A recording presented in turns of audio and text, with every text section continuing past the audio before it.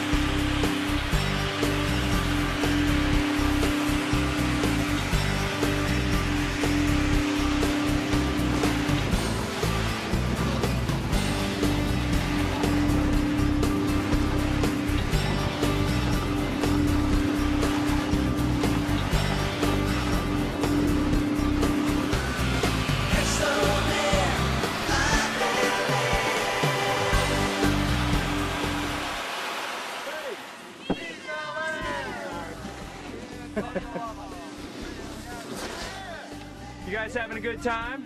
Yeah. Hey, where else in New York have you been snowboarding this year?